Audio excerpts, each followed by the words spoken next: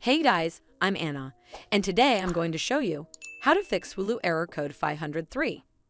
So first of all, open up this page in your web browser and check its server status. Sometimes it can happen due to server issues. In case you find a temporary outage, wait for some time and try again later. But if you experience no outage here and still encounter this issue, then what you need to do is go ahead and clear your browser cache. If you're a Chrome user, simply hold down Control, Shift, and Delete key on your keyboard.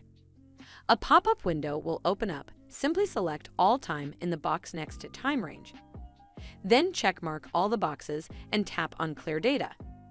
Once you're done with it, check if the issue is resolved. But if you still encounter the issue, then check your subscription plan and see if it's expired because the server blocks the access of accounts that are expired from accessing any type of content whatsoever. Also, make sure that you have not subscribed to the same subscription plan twice, since this can create multiple orders which can render you inaccessible to Hulu content. If you are still experiencing issues, then you need to contact Hulu customer support. Well, I hope you found this video helpful, and if you did, make sure you give it a thumbs up to see more videos like this, and don't forget to hit that subscribe button. We'll see you in the next one.